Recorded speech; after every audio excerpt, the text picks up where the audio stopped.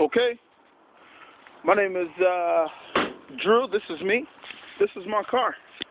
It's a 1964 Ford Galaxie 500. Okay, you'll see those 20-inch wheels.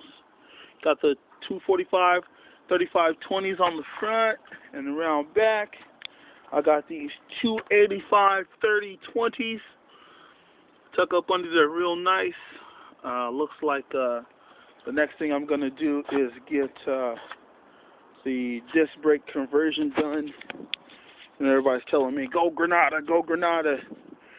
I'm probably not going to do that. I'm probably just going to spend the money and go with uh, CPP or Willwood or something like that. Just something big. Something else shiny to go along with these big old shiny ridiculous wheels. And it's funny uh, because, uh, you know, I've been parking my car here for a long time, just regular parking spot.